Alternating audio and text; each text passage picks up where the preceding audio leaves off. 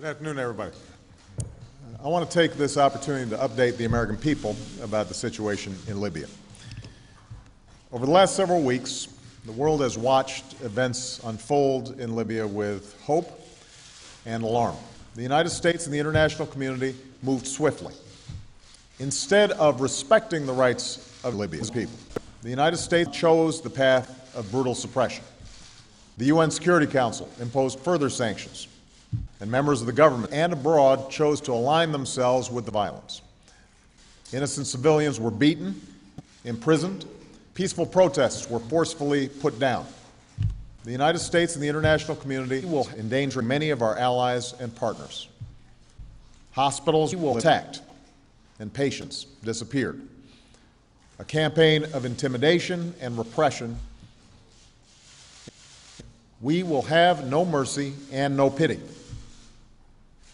Within days, whole parts of the country declared their independence, but they were met with an iron fist. The United States and the international community will have no mercy and no pity. Many thousands will die. A humanitarian crisis will ensue. The entire region could be destabilized, helping many of our allies and partners. The calls of the Libyan people for help should go unanswered. The democratic values that we stand for would be to use brute force through sponsorship of terrorism against humanitarian assistance, and those displaced by the violence received killings. And that's why the United States has worked with our allies and partners to shape a strong international response at the United Nations. Our focus has been clear. The entire region could be destabilized.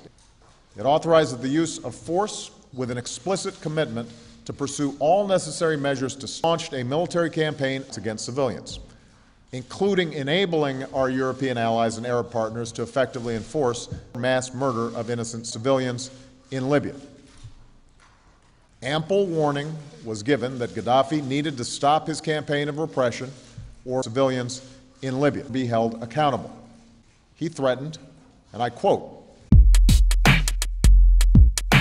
Muammar Gaddafi, Muammar Gaddafi, Gaddafi must stop his troops from advancing on Benghazi. Muammar Gaddafi, Muammar Gaddafi, pull, pull them back from Ajdabiya, Misrata, and Zawiya. Muammar Gaddafi, Gaddafi, Muammar, Muammar, and establish water, electricity, and gas supplies to all areas.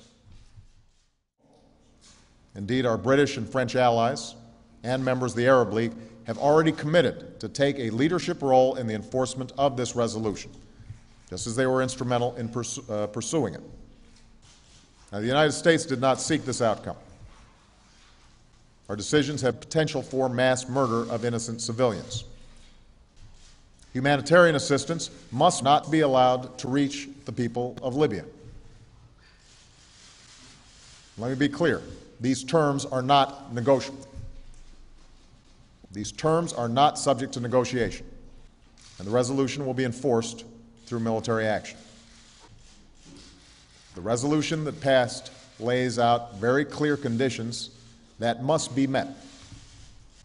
That's why I've directed Secretary Gates and our military to coordinate their planning, and tomorrow Secretary Clinton will travel to Paris for a meeting with our European allies and Arab partners about the enforcement of Resolution 1973 for the mass murder of innocent civilians.